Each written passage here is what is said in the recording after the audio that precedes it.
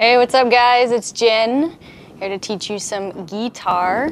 We're gonna work on "Smells Like Teen Spirit," ah, the the birth of grunge, Nirvana. We love it. Um, so the big thing with this grunge music and Nirvana is power chords. One, five, eight. That's all you need. These three notes, and you can move it all around it sounds great. And you can do it on the fifth string as well. And we love it because the first rule of being a guitar player is you have to be lazy. So that's what we're gonna do. We're gonna be lazy, we're gonna take this shape and move it all over the place on the neck. Uh, the key thing with these power chords is to keep the stretch happening. It's very easy to move it up and then these get squashed together and you get that beautiful sound instead of that. So make sure when you're practicing it, you're maintaining that stretch in between, okay? So let's get started. F power chord or F5. You can, you can call it either name. B flat. So we just move the, the, the position down one string set. So we're from the sixth string, now on the fifth string. Going back to the sixth string, for A flat. And now we're here for D flat, okay? So same shape over and over, but it sounds so good, so we like it, okay? The key thing with this is the rhythm of it. It's very, very specific. The chords may not be that difficult, but you want to get the rhythm, you want to get the feel of it. You can't just go because that doesn't really sound like it. And your friends will make fun of you, and, and you'll probably quit guitar. And not that I have any experience with that. Okay, so here's the rhythm.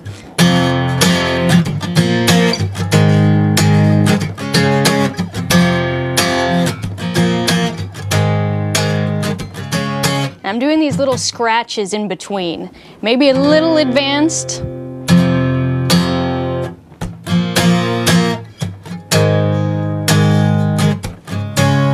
That's nice and slow.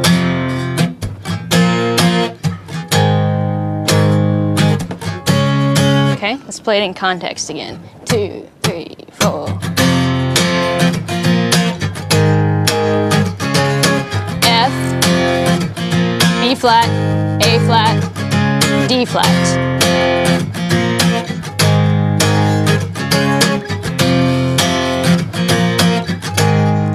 Take it nice and slow.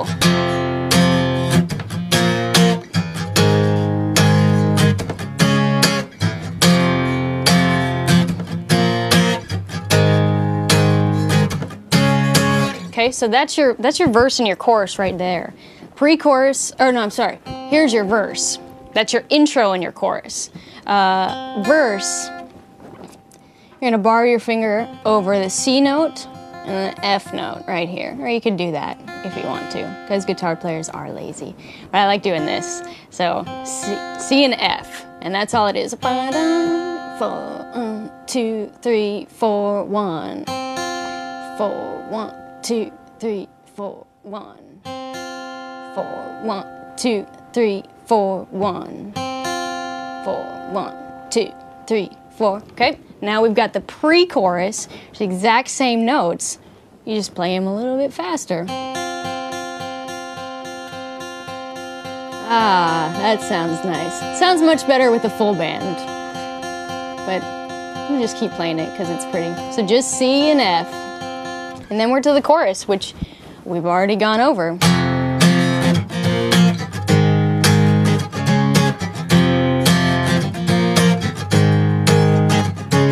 Okay, so now we're going into the re-intro, and the re-intro is a little bit tricky. It's a little bit fast. Um, sounds much better on electric because you have the distortion, but we will make it work. So we have F.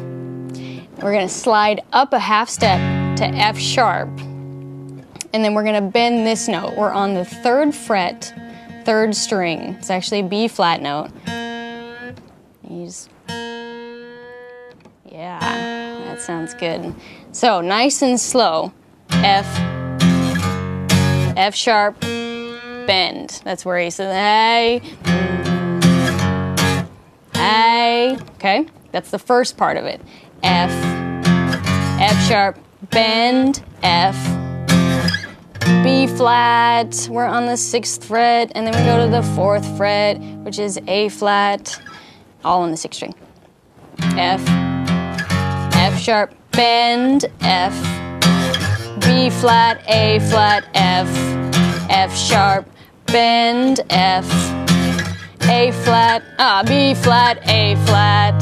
Okay, let's do that one more time because I screwed up. F, F sharp, bend, F, B flat, A flat, F, F sharp, bend, F, B flat, A flat.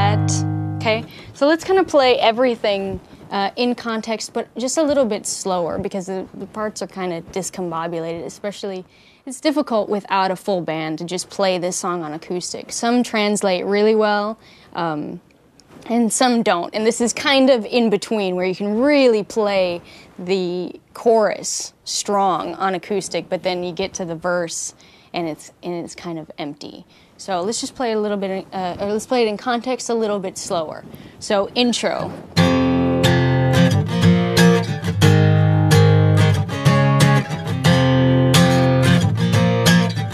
Okay, we're moving on to the verse. Four, one, two, three, four. One, two, three, four. Now pre-chorus.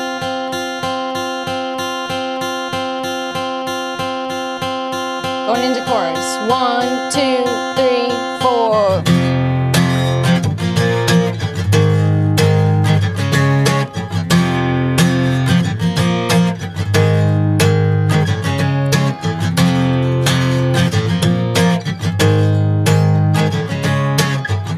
Okay? Now get ready for that re-intro. It's a little weird.